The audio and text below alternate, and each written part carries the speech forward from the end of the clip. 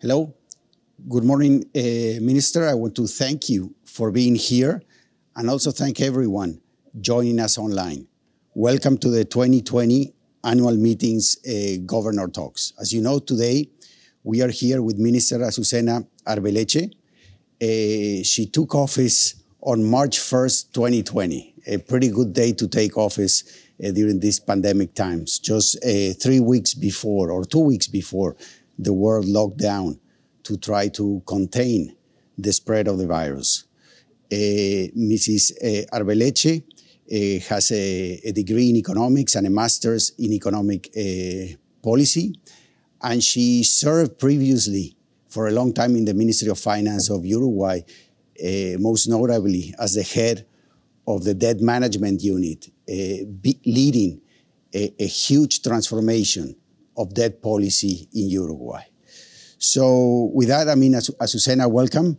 Let's start, I think, from the obvious. I mean, Latin America has been severely hit by the COVID-19 pandemic.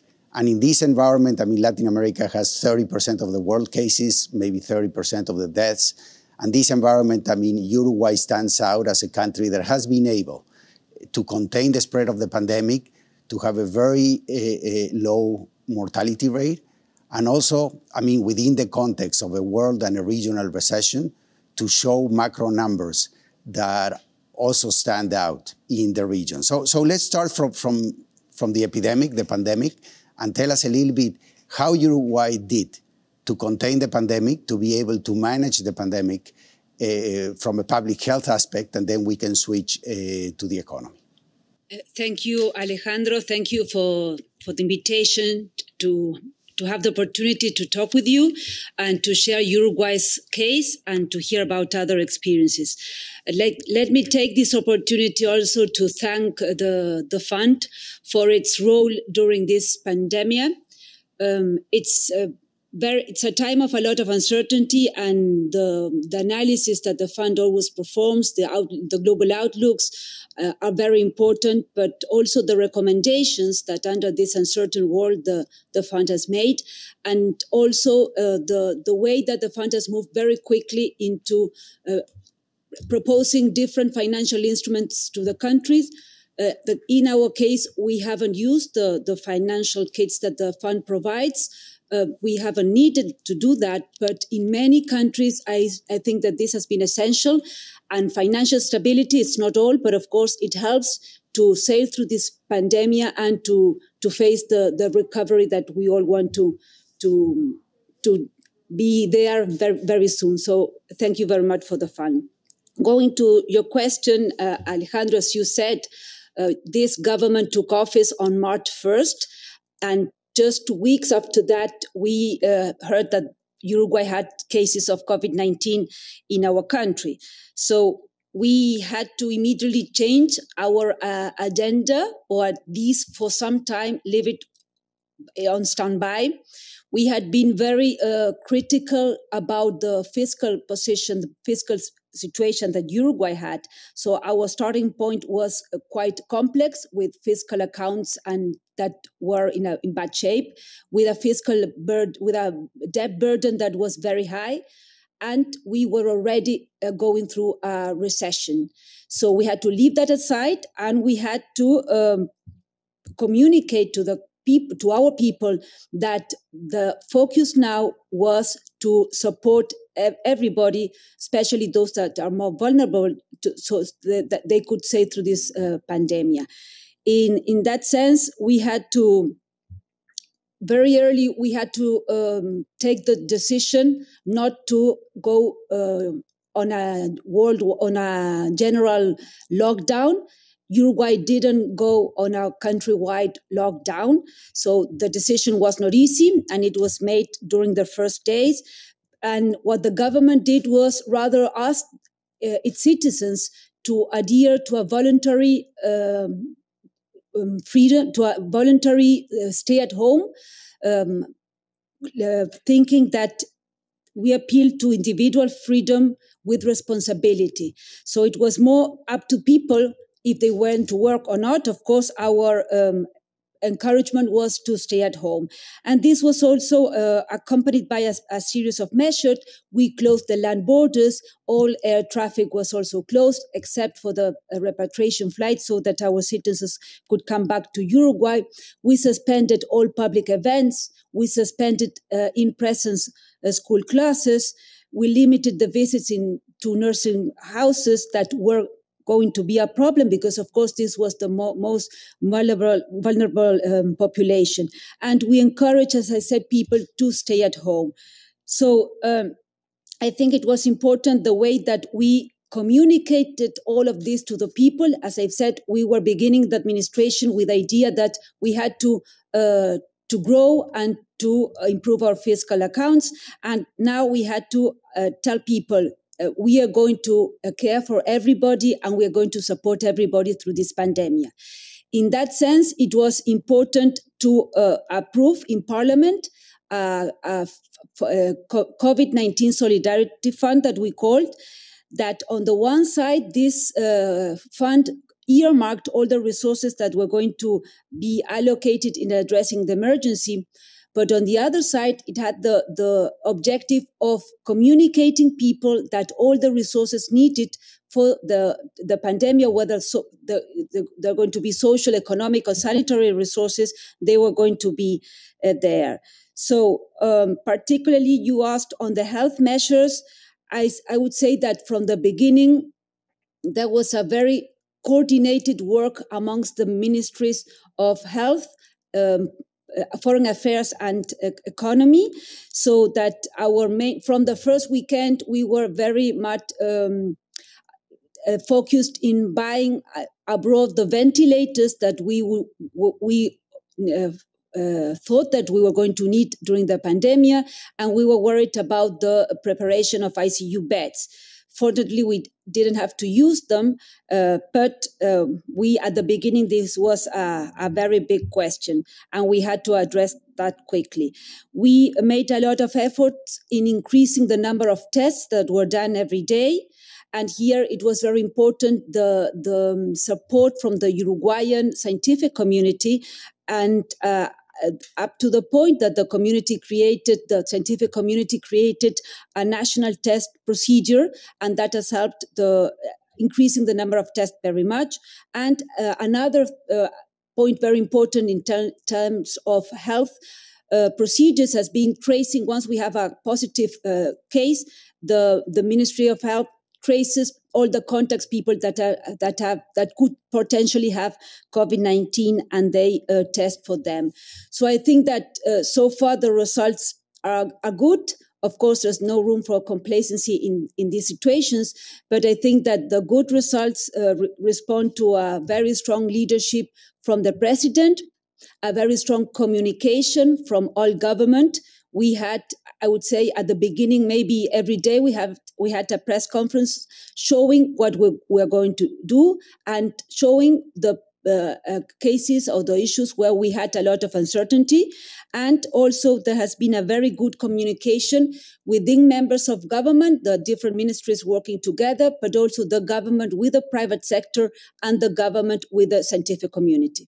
I mean, looking at the results, it's uh, so far pretty impressive, as, as you said, and it seems that, uh, uh, I mean, a, a pretty uh, cohesive response by, by the population given this uh, uh, voluntary lockdown implemented, suggested by the government together with these public health measures, focus very thoroughly on testing, tracing, and, and, and obviously supporting a health system that I, I, think in relationship to the rest of Latin America was already in relatively better shape in a region that I mean I, I think we we have I mean significant shortcomings in, in, in health, but obviously Uruguay uh, uh, stood out on, on, on that front even before uh, the pandemic hit. So so you mentioned at the, at, at the beginning of your question, I mean, the, the initial conditions in which you, you, you, you receive the economy of a relatively high inflation, a, a, a very tight uh, fiscal situation. So, so tell us a bit uh, what were your original plans uh, in terms of moving forward towards establishing a very clear framework of fiscal sustainability, reduction of inflation, etc. And also, how do these plans uh, change uh, due to the pandemic, and at which stage uh, are you currently in the implementation of this of this strategy? So, Alejandro, I wouldn't say that the plans changed. Mm. So, what we did was just let leave the plans aside for, for some time. And, and the focus was uh, into supporting all, all of our focus changed into supporting people and uh, especially uh, the small and, and medium-sized uh, enterprises to, to walk through the, the pandemic. We still have uh, the medium-term agenda in place, uh, but maybe before moving into that, we we can I can um, share a little bit more of how we tackled the kind of, of measures that we took to uh, support people and enterprises through the pandemic. As as I've said, it was very important to to um, give confid- confidence to people that the support was going to be there. And that's why we created this uh, COVID 19 fund. And this fund has uh, um, allocated resources into different areas. On the social fronts, we have um, given direct subsidies to people so that people could have basic needs satisfied people could uh, afford to to food which has been a which could be a problem in these uh, specific uh, times of, of crisis. And as uh, you said that uruguay has a, a good health system and that's true and we also have a very good safety net system. However, when we go through extraordinary situations like this, when we see that those uh, systems are not enough and that still more has to be added. So in this case, uh, we found out that it was the, the support that self-employed people had even they were working on the formal system the, the, there wasn't uh, a good support for them when the activity came down so we provided unemployment benefits for those people we also uh, provided a new scheme uh, that allowed people to partially work and partially be under insurance uh, uh, uh unemployment. So that here it was very important uh, not to, to keep the engines of the economy running. And that was a point that I personally made at, in one of these press conferences at the beginning of, of the of the sanitary crisis. It, we had this discussion: Do we have to go to lock down the economy? Do we have to keep the, the, sectors working? And we decided that the, the engines of the economy should continue run, running. Of course, the speed was going to be a very low speed, and, uh, and maybe we had to uh, nearly uh, stop. But uh, the decision was not from the beginning, let's stop and uh, let uh, let everybody be at home. So in that regard, we uh, gave this an incentive for workers so that they could for some some of the time be working and some of the time be uh, under this uh, scheme of uh, in insurance unemployment insurance. On the economic front, we deferred uh, tax uh, payments, we deferred uh, contributions to the social security system, we subsidized some of these contributions to the social security system we deferred uh, payment, loan payments, and this was done hand in hand with measures taken by the central bank. And I would say that the main instrument that we used during the crisis to help the the, the small and medium-sized enterprises was uh, to be very um, proactive, very generous on the um, disbursements or, or, or the um, loans to give um, accessibility of loans guaranteed by states. So these state guaranteed loans that uh, are around five points of GDP. Not all of that has been dispersed so far. So far, we have dispersed around one point of GDP, but it was important from the beginning to tell people we have all these loans available to be used and they have the uh, guarantee of state we saw that the this was in terms in economic terms this was clearly a liquidity crisis and we didn't want this, this liquidity crisis to turn into an insolvency crisis. So it, it was important to put put all this liquidity into into working. So that uh, related to the pandemic, but uh, as you said, we also had to keep an eye on the medium term and the the structural reforms. So, in that regard, we had already been working on certain reforms that were um, uh, were part of a law uh, that we presented in mid-April. So while we were in the beginning, while we were in the in the middle of the pandemic, in the middle of April, one just one month after we learned that the, we had the first cases of COVID-19, we sent to Parliament a fast track uh, um, budget, no, uh, sorry, draft of law that was finally published, uh, approved at the, in the middle of July. And together with that, we have been working with the, the budget law that was presented at the end of August. And right now we are in the middle of the discussion in the House of Representatives in this in these days. So all of both both of these pieces of law, the urgent consideration law and the budget law, these help us move in terms of structural reforms uh, in the coming months. So it was important all all of the time to keep like these two uh, things working at the same time. The what is uh, the immediate uh, support to the pandemic, but also looking a little bit beyond that and tackling these issues that you you were mentioning, not only on the fiscal front but also on the on the monetary front. Thanks, Azucena. One, one question that comes up uh, in your in your description that maybe I mean some of our viewers uh, would be interested. Uh, I mean, what was the size of this uh, COVID response? Budget or COVID response uh, uh, trust?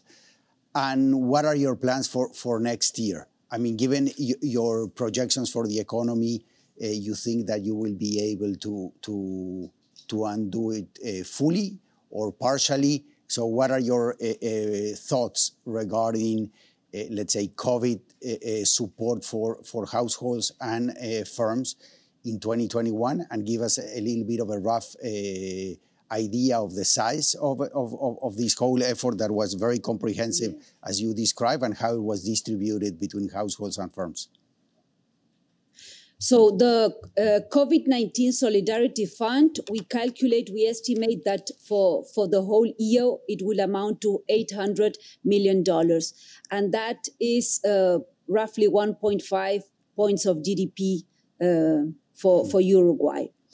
We are not coronavirus, uh, coronavirus fund or COVID-19 fund, we are not considering the uh, guarantees that we give in this loan. So that's something additionally, and that counts, only that counts to five points of GDP. So uh, this will have an impact in terms of fiscal result. We began this administration with a fiscal deficit of, uh, of five points of GDP and a, a, a gross debt in terms of GDP of uh, 60, nearly 65% of GDP. And we, uh, we think that this year the fiscal uh, deficit will go up to 6.5% of GDP, partly because of this fiscal effect of the COVID 19, and also partly because we think that the economy will, will uh, further decrease its activity, and that will have a consequence in terms and impact in terms of, of less uh, tax collection. Um, after that, we, we plan to uh, increase, to improve the fiscal accounts so that finally debt to GDP stabilizes.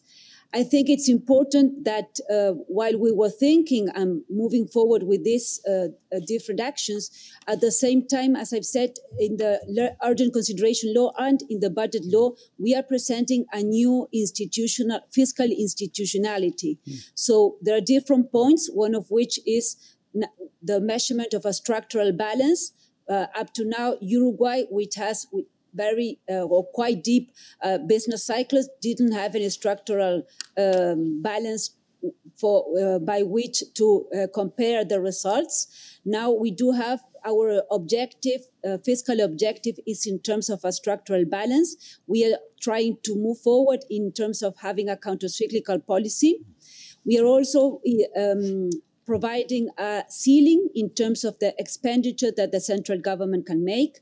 And a third point is that we have a ceiling in terms of the indebtedness that the central government can have. So all of these points are part of a new fiscal uh, institutionality that will help us gain credibility that we have lost because the previous administration announced uh, results that were not uh, fulfilled uh, in any of the years. So we have to move in that area. Uh, once and that that's why it was also important to have the, the this fund so at the end of the day we can measure what if our expenditure has increased because of the covid-19 or because we uh, deployed the resources into something else now that's uh, i mean it's very interesting uh, especially i mean your whole agenda regarding creating a very strong institutional framework that uh, oversees or, or guides a fiscal policy to provide a very clear anchor in terms of your uh, medium term uh, debt sustainability and, and fiscal sustainability. Uh, let's turn a little bit at the structural uh, uh, changes uh, that, that you think are needed for Uruguay to, to, to, to accelerate growth and to, and to continue in this path of uh, inclusive growth, but more accelerated uh, growth. And, and where do you see the engines of growth in the next, uh, in the next few years? What are the, the key structural issues that need to be unlocked, reforms that need to be implemented for this growth acceleration potential to be to happen? So Alejandro, I mentioned some of these reforms. The institutional reform for us is very important. There are also uh, monetary reforms that are another part of this uh, new institutionality, uh, uh, better communication, more transparency, and the objective of the central bank being lowering inflation and not having many objectives at the same time. We have made also, and um, we are making progress in terms of a new governance for the public enterprises. Mm. Uh, at the end of the day, what we need are uh, lower utility tariffs that because that's part of the problem that we have in terms of competitivity for the country and that is uh, one of the main problems what why the growth has, has been so so poor. We also are present, have presented uh, the need to have a pension reform. Uh, we need to have um, to guarantee the pensions for uh, for our people for the next years, and we need also to guarantee the sustainability of these pensions. So there's also a fiscal side to this. We are uh, being more, much more uh, proactive in terms of um, trade policy. We need more results. We need to have Uruguayans goods to access market on more beneficial um, uh, uh beneficial um, Uh, um, uh, beneficial aspects. And uh, but equally important is not only to have these reforms in that we are pushing in our laws, but is to promote investment. Because if we want to grow and if, we want to have more employment, what we need is more investment. And investment, uh, particularly private investment, has been lacking behind in Uruguay for many years now. So, in that sense, one of the main drivers will be in the in, uh, private investment, and we have been very active in changing the uh, the investment promotion regime that Uruguay has ha, has so far. We have published uh, a new regime for housing for the more vulnerable sectors. We have uh, published a new regime for a big ticket construction. And uh, just some days uh, ago, we published a new regime where we extend the benefits of fiscal benefits for the projects, for investment projects, and we extend also the kind of sectors that can be included in this in these uh, tax incentives. We are also uh, we have also presented changes in the tax residence. We want to further uh, gain families, to have families and foreign investment coming into Uruguay. Our rules of the games are very clear that is a, a, an asset that we have uh, and we have had for many years. So we think that uh, it, it's uh, important to show this and to make it um, to have a more friendly uh, entry for uh, families and investment into into our country. No, it's a, I mean, again, a pretty impressive uh, agenda, and as you said, I mean, the combination of a strong fiscal framework, a pension reform, more certainty on the monetary uh, policy side, and, and, the clear objective uh, of, of, having uh, low and, and, stable inflation together with all these uh, sectoral issues on the public enterprise and a, a, a stimulus for, for, for investment. I mean, uh, uh, it seems like a, a pretty aggressive and, and, complex issue also to, to deal with with Congress, and, and, and it's an impressive and very full agenda. Let's uh, maybe uh, finish uh, with, with the environment. Uruguay performs extremely well on environment, social, and governance fundamentals. Uh, and, and, obviously, given the, uh, the global concern regarding uh, climate change and, and, the impact of that climate change will have on, on, on the environment, on our cities, on, on, on our ways of, of living, tell us a little bit more about what's Uruguay's strategy on this dimension. Yes, first of all, uh, as you mentioned, Alejandro, Uruguay uh, historically has a very good uh, position in terms of uh, the fundamentals, in terms of environment, social, and, and governance. That is not new for our country. Uh, some days ago, uh, published its um, its report where it kept the investment grade status for Uruguay, and all of these factors were mentioned, and they, they are very important. And I would say that Uruguay uh, stands very good in terms of democracy, in terms of human rights, and in terms of freedom, not only in the region, but also in, on an international comparison. Let us uh, remember that Uruguay is one of the 22 countries with full democracy according to the economy, economy, Economist Index. So, uh, in that regard, the environmental um, is very important for us. And uh, and finally, we have in this urgent consideration law, we uh, created the Ministry of Environment, which I would say will have on one side a very uh, economic uh, um, approach in terms of the punishment and incentives in the way that people treat the environment.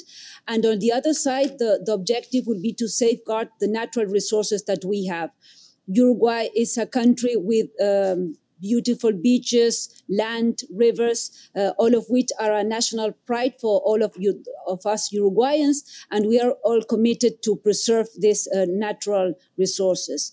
The the brand uh, Uruguay Natural, Uruguay Natural, has been the way how Uruguay has presented itself to the world in the last years, and for uh, and that shows the way that uh, the importance that we give to these natural resources. We are very lucky to have them. It is our responsibility to care for them so that the next generations uh, can have and uh, the benefit of using also these resources.